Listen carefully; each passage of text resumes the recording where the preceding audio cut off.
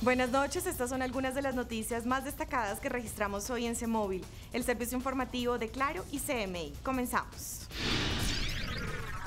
Fiscales alemanes revelaron que el copiloto al frente del avión de Germanwings, que se estrelló en los Alpes franceses, ocultó que estaba de baja por enfermedad el día de la tragedia. El magistrado Jorge Pretel denunció un supuesto lobby de su colega Luis Ernesto Vargas para favorecer en una tutela a Laura Moreno, una de las jóvenes implicadas en el caso de la muerte de Luis Andrés Colmenares. El jefe del equipo negociador del gobierno, Humberto de la Calle, informó que ya se ha avanzado lo suficiente para comenzar a poner en práctica la primera etapa del proceso de desminado.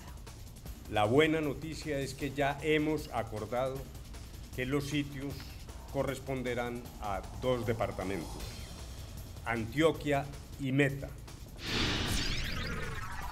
El procurador general Alejandro Ordóñez le pidió explicaciones al gobierno nacional por la salida de los generales Jorge Enrique Mora y Óscar Naranjo de la mesa de negociación en La Habana. Ante esto, el presidente Juan Manuel Santos le respondió. Yo sí le pido al procurador que deje de hacer política, deje de meterse en el proceso de paz, que eso es una responsabilidad mía del presidente de la República. Ampliación y desarrollo de estas y otras noticias en cmi.com.co. También estamos en claro.com.co. Feliz noche.